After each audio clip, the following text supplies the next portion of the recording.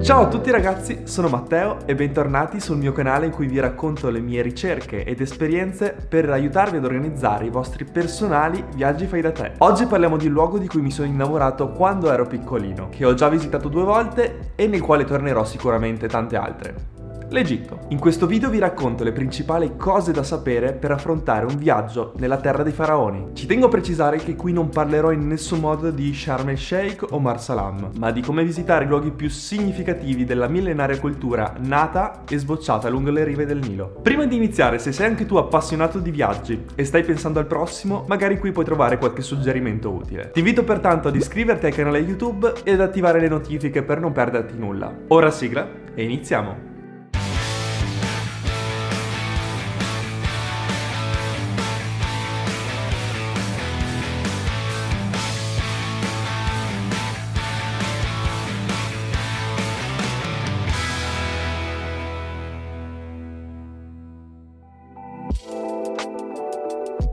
L'Egitto si può considerare un paese molto economico, soprattutto se decidete di alloggiare e mangiare nei rispettivi hotel e ristoranti locali. Potete tranquillamente affrontare un pasto con 4-5 euro e alloggiare in una camera con 25-30 euro a notte. Poi ovviamente dipende dal vostro grado di adattamento. Infatti negli hotel internazionali più lussuosi potete spendere anche 100 e più euro a notte. Un'usanza estremamente comune è quella delle mance. Vi consiglio pertanto di munirvi di banconote di piccolo taglio e di monete. La moneta locale è la sterlina egiziana, che al cambio attuale vale circa 5 centesimi di euro. Serviranno pertanto circa 20 sterline per fare un euro. Tuttavia in diversi luoghi l'euro è accettato e addirittura preferito alla stessa sterlina egiziana. I costi dei principali siti archeologici del paese variano molto, ma si può dire che siano molto abbordabili. Per esempio nella piana di Giza il costo d'ingresso è di circa 10 euro a persona. Spesso però all'interno dovrete pagare degli extra. Per esempio nella Valle dei Re, molte tombe, tra cui quella dello stesso Tutankhamon, non sono incluse nel biglietto. Il mio consiglio è di visitarne una per farvi un'idea delle meraviglie che stanno là sotto. E poi, se vi piace, potete acquistare biglietti per le altre. Infine, per fare video o fotografie all'interno è obbligatorio fare un ticket extra.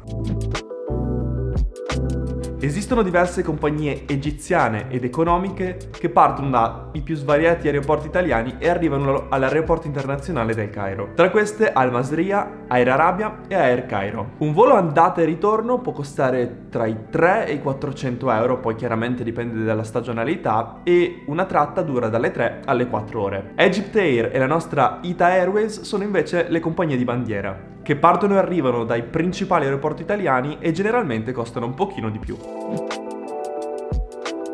L'Egitto è la terra dei faraoni, culla di una delle civiltà più antiche della storia e che hanno contribuito allo sviluppo della cultura mediterranea e non solo. L'eredità di questo regno millenario sono le grandiose piramidi, circa 130 ad oggi, i palazzi, i meravigliosi templi, la complessità e la ricerca delle arti e delle scienze in tutti i loro aspetti. L'Egitto è uno dei pochi paesi arabi in cui l'ingombrante eredità del passato viaggia di pari passo con la religione islamica, la sua cultura e le sue abitudini. Queste due facce della stessa medaglia vivono in una sorta di complementarietà sospesa tra il passato e il presente. L'Egitto è infine anche la culla del cristianesimo copto. Si può dire quindi che sia un paese in cui coesistono coesistono e hanno imparato a convivere diverse realtà culturali, che come spesso accade si sono contaminate ed arricchite.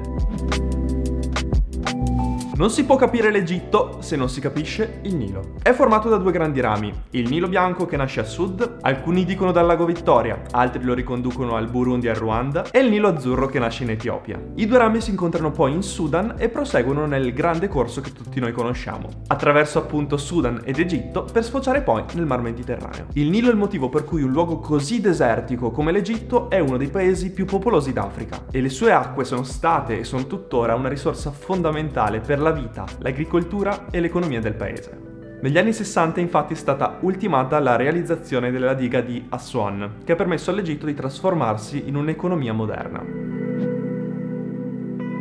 Portate con voi il cappello e la frusta da Indiana Jones. In Egitto si respira storia, mistero e avventura. Le visite ai siti archeologici, alle tombe, alle piramidi sono vere e proprie immersioni emotive, realizzate alcune volte in spazi angusti, altre addirittura claustrofobici, ripagate però dalla meraviglia e incredulità di trovarsi davanti a questi colossi di 4-5 mila anni. I siti da non perdere, oltre ai più famosi Piana di Giza, Valle dei Re, Tempi di Karnak e Luxor e Abu Simbel, sono i templi di Edfu, File, Conombo, la piramide di Djoser, la piramide rossa e potrei andare avanti ancora tantissimo. Mi raccomando prima di partire leggete ed informatevi sulla miriade di siti perché credetemi anche il più sconosciuto vale davvero la visita. Altre attività che potete fare sono le classiche escursioni nel deserto in quad o in 4x4 fino a raggiungere anche delle oasi. Una delle più importanti è l'oasi di Siwa che è situata vicino al confine libico. Ad Aswan vi consiglio di godervi un magnifico tramonto sul Nilo a bordo di una feluca che è la classica barca a vela egiziana. Lì vicino potete anche visitare il villaggio nubiano di Gara Soheil. Al Cairo non potete perdere le moschee di Mohammed Ali e di Al-Azhar, un giro tra i cunicoli e le chiese del quartiere copto, per poi perdervi nel mercato più importante della città, quello di Khan el Khalili. Prendetevi poi mezza giornata per visitare il Museo Egizio del Cairo, che seppure sia tenuto piuttosto male, trasuda di storia dell'archeologia e conserva la più grande scoperta archeologica di sempre. Il corredo funerario di Tutankhamon, compreso dei suoi sarcofagi e della famosissima maschera d'oro. Tra poco verrà ultimato il nuovissimo e modernissimo museo che sarà dedicato alla vita e ai reperti della tomba del faraone. Prima di partire informatevi a che punto sono i lavori perché potreste essere tra i primi a visitarlo.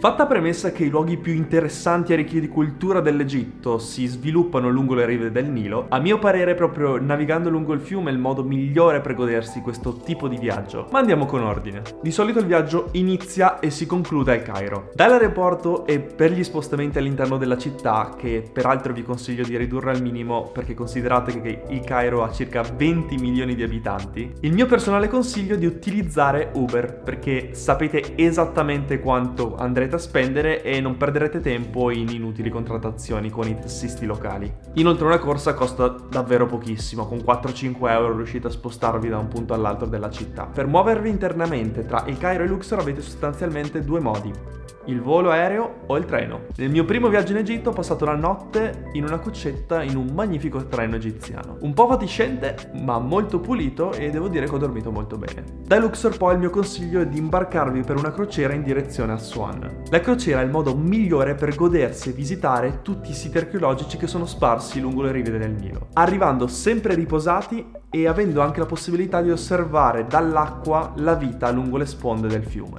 Su internet potete prenotare le crociere e numerosi tour. Da Swan partono pulmini organizzati per raggiungere Abu Simbel, nel sud del paese. Per chi cerca tour in italiano ho trovato molto utile il sito www.scopriegitto.com, vi lascio il link qui in descrizione. Per concludere, se volete visitare anche Alessandria d'Egitto, che si trova nel nord del paese, potete volare dal Cairo o anche dalle altre città egiziane, ma i voli fanno comunque scalo al Cairo